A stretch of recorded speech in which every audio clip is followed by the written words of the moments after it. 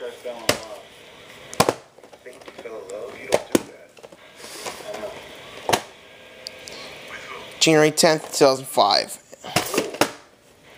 And recital from Wild Wild West, so.